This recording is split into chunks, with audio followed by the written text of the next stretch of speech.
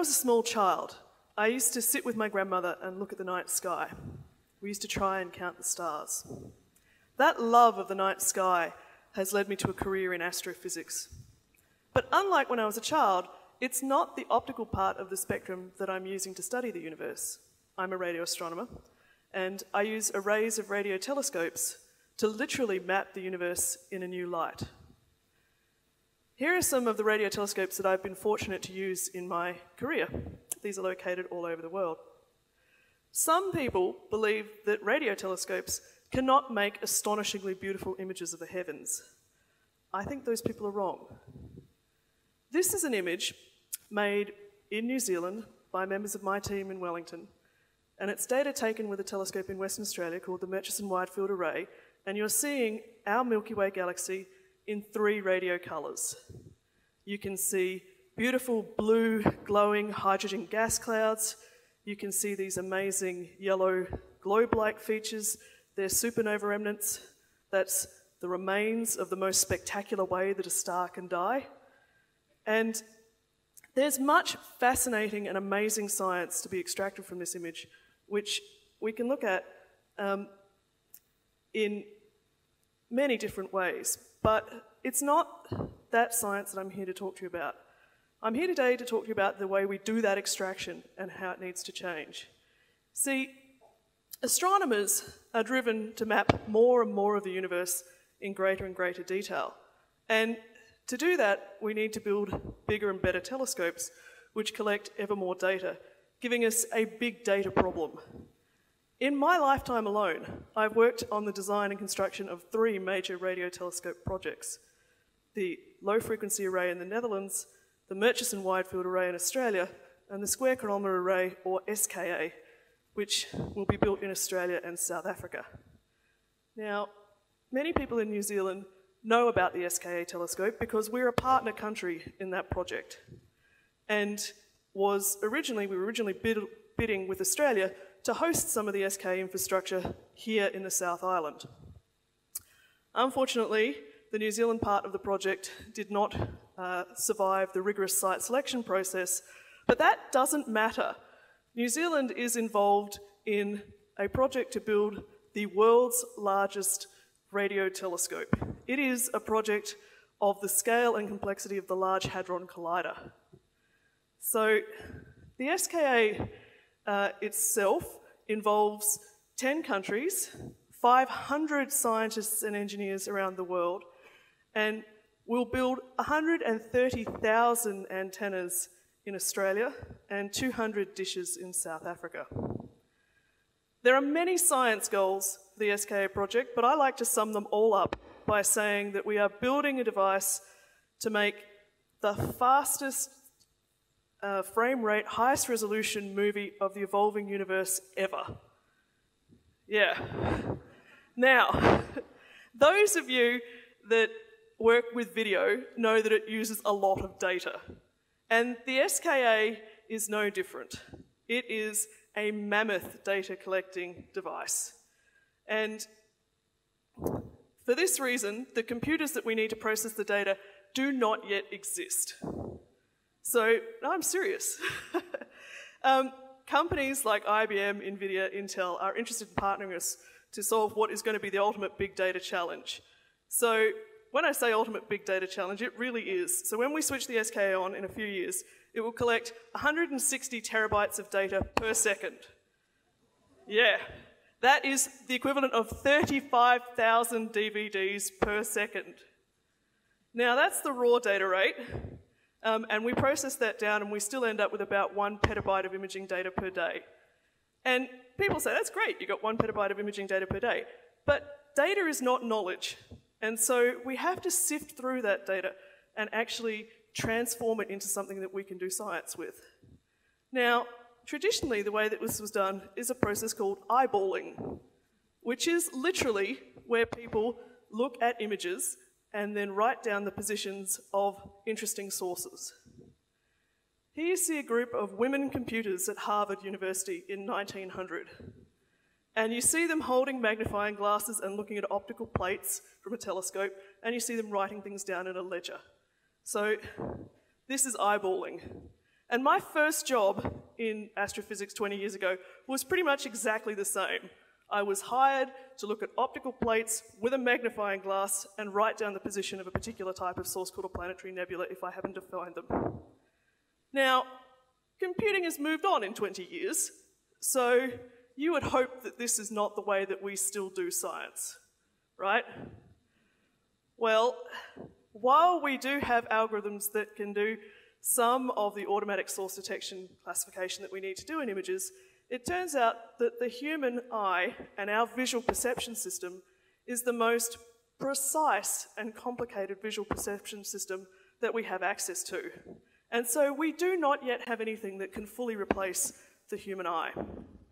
So, to give you an example of uh, what computers can and can't do in terms of astronomical source detection, I want to show you this image. This is an image of three quarters of the sky taken with the MWA telescope. It was released two days ago. Um, my team uh, have been working with an international team for the last three years to make this image. This shows you three radio colours. You can see the band in the centre, that's our galaxy, the Milky Way, and it's awash with radio emission. And then you can see lots of little dots. Every single one of those little dots is a radio galaxy which houses a supermassive black hole. That is a black hole with at least a million times the mass of our sun. Every single dot. Right, now, it would have been impossible to count all of these dots by eye, and we didn't. We used a computer, and we used what's called a thresholding algorithm. Now, thresholding algorithms at their core are very simple. What they do is they look for collections of pixels which are together and above some brightness intensity above a threshold. So if we zoom in, let's have a look at this region here. That's zoomed in there. We're going to zoom in again, and then one more time, this time only in one radio color. So that image in orange is showing you a supernova remnant and a bunch of point sources, which remember have supermassive black holes at their core. If we look at the pixel intensity distribution through a line in one dimension through that image, it looks like this. And so you can see there's clearly some peaks there. So I can say to a computer, tell me how many of those things are above that red line, and it'll happily do that. And so that's what a thresholding algorithm does, and we ran that over that image that you saw previously to find 327,000 radio galaxies. But you'll notice in the coloured image behind me that there's more to that image than just the dots and the bright things. There's kind of fuzzy, diffuse patches of stuff. So what about that? So let's see how a thresholding algorithm does with those type of things, but first, I'm going to have to tell you about the anatomy of a radio galaxy. So this is a radio galaxy. If I could zoom into every one of those dots on that image and show you at full resolution, it would look like this. So this is a Hubble Space Telescope image in the background with a radio image with that purple stuff over the top. And what you see is a galaxy in the center and then two huge jets of radio emission.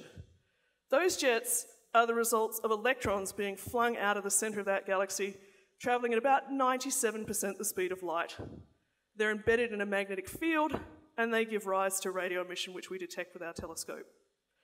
So, to give you a sense of scale, objects like this are millions of light years across.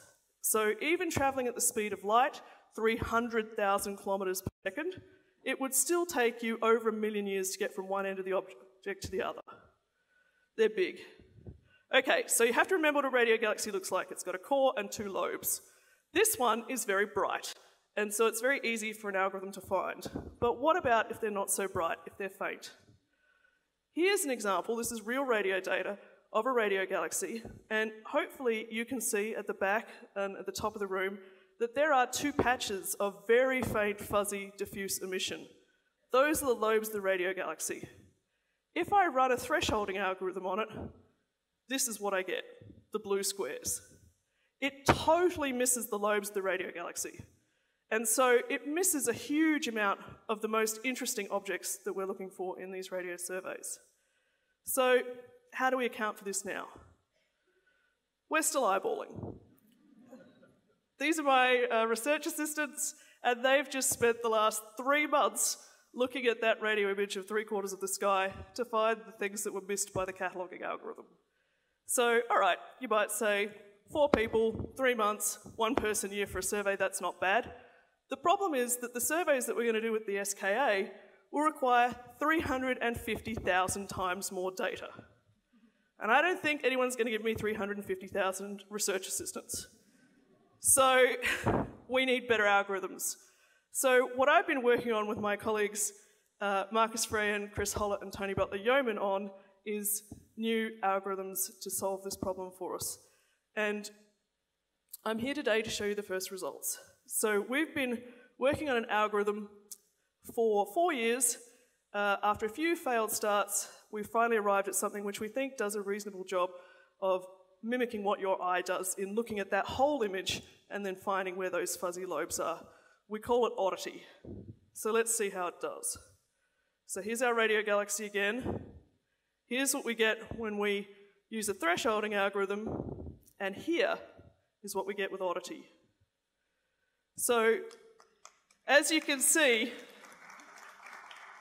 it detects the radio lobes. It has a 95% accuracy, and it is almost as good as me. And I have 20 years training at looking at these images and finding these fuzzy things. So this is cool. This, this makes our life easy. Now, you might say, okay, that's cool, you can, you can find radio galaxies, awesome.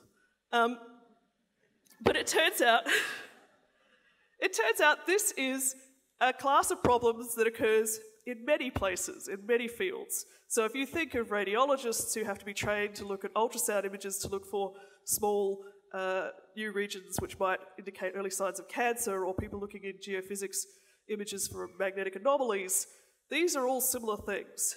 In fact, here are some examples which show um, what's happening in terms of uh, different areas. So this is a NASA image of Mars, and those black regions are where geyser-like activity happens through sublimation. People are trying to count those by hand. This is a cryo-electron microscope image of a protein or proteins, and people are counting all those little dots by hand. This is my favorite. This is a droplet of seawater with plankton, and some poor researcher has gone and drawn all the plankton on by hand. Yeah, there's a lot of seawater, so that's a lot of plankton if you want to start cataloguing that. In fact, these guys tried to do it with an algorithm too, and that's what they got. They found all of their plankton, but they also found lots of other stuff, and that highlights the difficulties of this type of field.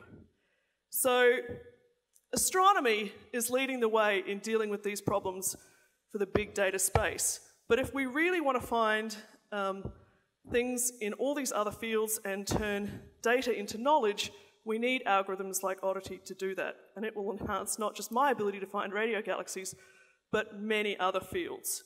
So here I am, 40 years later, still trying to count the stars, but this time doing it in a much better machine-aided way. Thank you.